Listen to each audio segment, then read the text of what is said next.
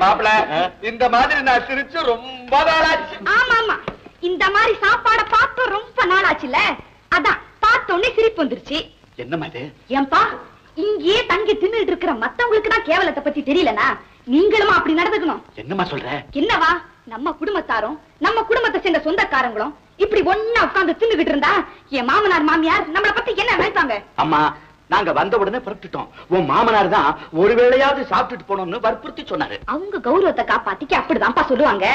நம்ம கௌரவத்தை காப்பாத்திக்கணும்னா எங்களுக்கு வேலை இருக்கு வெட்டி இருக்கு சொல்லிட்டு போயிட்டே இருக்கணும்.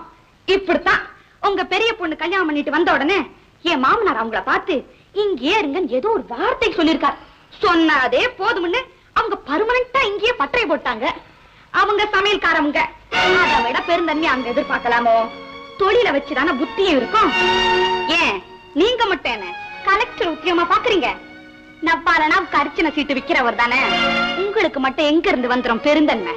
ஐயோ ஐயோ இது என்ன அசிங்கம்? ஒரு பொண்ணை கொடுத்துட்டு குடும்பமே அங்க உட்கார்ந்து தின்னுகிட்டு இருக்குன்னு ஊரே காரி துப்பப்பா தின்னுபிட்டு நீங்க போயிடுவீங்க. இங்க இருக்கிறவங்க ஏன் தலைய போட்டு உருட்டுவாங்க? அம்மாடி உன் தலையோ கௌரவமோ உருளாத அளவுக்கு இனிமே நாங்க நடந்துக்கிறோமா? உனக்கு இவ்வளவு ரோஷம் இருக்கிறத பார்த்து நாங்க ரொம்ப பெருமைப்படுறோம். என்ன இருந்தாலும் நீ எங்க பொண்ணு இல்லையா ராஜா? ஏன் இன்னும் என்ன? போதும்.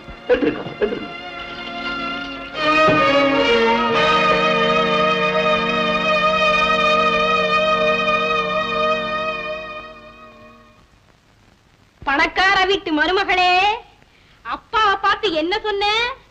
நவ்வாலடாவுக்கு அர்ச்சனை சீட்டு விக்கிறவரன்னா ஆ, இவ்வளவு பெரிய குடும்பத்துல வாழ்க்கை படம் உனக்கு அதிர்ஷ்ட சீட்டு விழுந்துச்சே.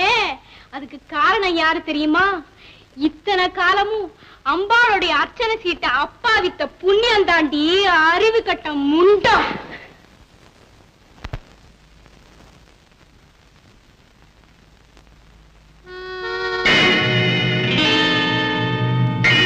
ஜானகி நீ கேள்விப்பட்டதில்ல? கோடி ஒரு வெள்ளைக்கு குமரி ஒரு பிள்ளைக்கு. ரெண்டுக்கும் அவ்வளவு பவுச்சு மவுசு ஜாக்கிரதை.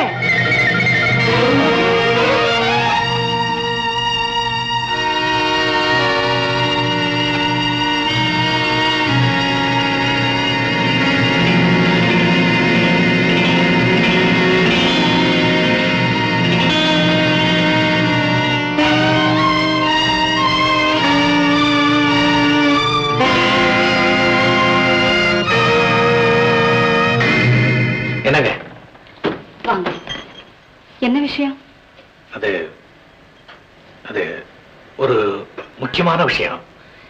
இந்த சூழ்நிலையில நான் அதை உங்ககிட்ட தான் கேட்க முடியும். அப்படியா?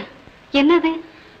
வந்து அதாவது நீங்க என்னுடைய மனைவிக்கு தமக்கு தான். ஆனா நான் உங்களை என்னுடைய தாயாவும் தமக்கையாவும் நினைச்சுதான் என் மனசுல உள்ளதை வெளிப்படையா கேட்க வந்திருக்கேன். நல்லா கேளுங்க. நான் உங்க தங்கைக்கு தாலி கட்டின நாள்ல இருந்து இன்னைக்கு வரைக்கும் அவளுக்கு புருஷனா நடந்துக்க எப்படி எப்படியோ முயற்சி பண்றேன். ஆனா அவ ஒரு நாளாவது எனக்கு மனைவியா நடந்துக்க மாட்டேங்கிறா. நான் சொல்றது உங்களுக்கு புரிஞ்சிருக்கும்னு நினைக்கிறேன். புரியுது. சொல்லுங்க.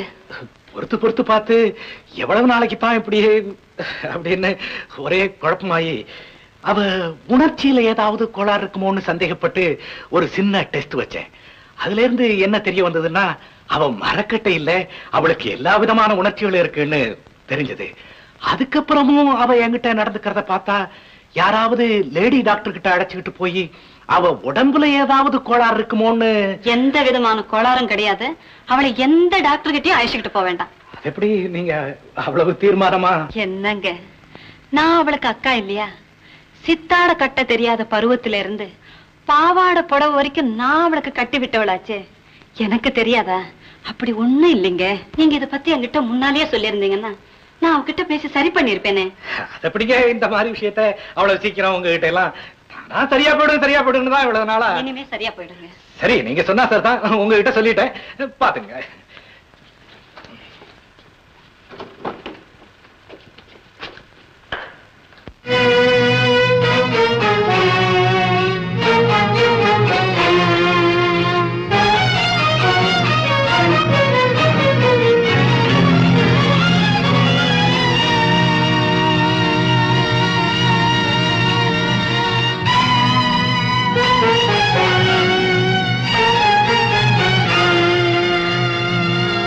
ஏமா ஏன் இப்படி?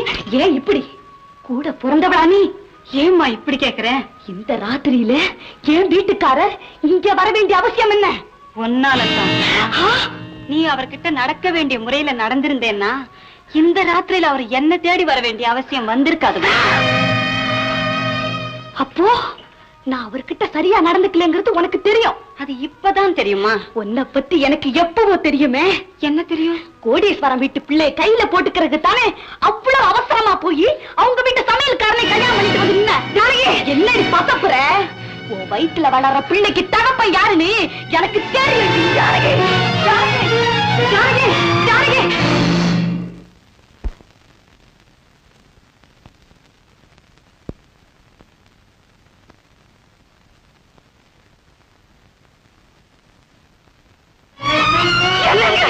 என்னங்க? இப்படி தலை குனிஞ்சு நிக்கிறீங்க?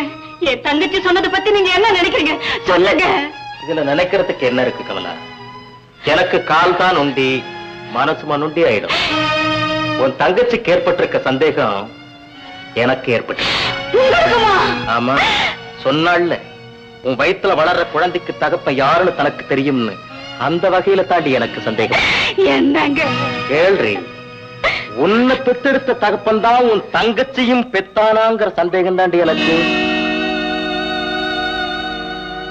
கமலா எது எதுக்கோ பொறுத்துக்கிட்டு இருந்தோம். ஆனா இந்த அவமானத்துக்கு பிறகும் இந்த வீட்டுல இருக்கணுமான்னு தானே யோசிக்கிறீங்க? அதேதான். எனக்கும். பொறு பொறு. இவங்கெல்லாம் சொல்லியா நாம இங்க இருக்கோம்? கமலா சமயக்காரன மகனாவும் அவனுடைய மனைவியை தன் மருமகளாவும் மதிச்சு நடத்துற பெரிய உள்ளம் படைச்சவங்க. நம்ம பெரிய போற இந்த உலகத்துல யாரையாவது பார்க்க முடியுமா? இவங்கெல்லாம் ஏதோ வளர்னாங்கிறதுக்காக அந்த பொன்னான உள்ளத்துல ரத்தத்தை வடிய வச்சுட்டு போகணுமா? அவர் நினைக்கிற போது எனக்கு ஒண்ணும் ஓடலையே. நான் என்ன பண்ணுவேன்? அவர் முகத்தை பார்த்து வெளியே போறேன்னு எப்படி சொல்லுவேன்?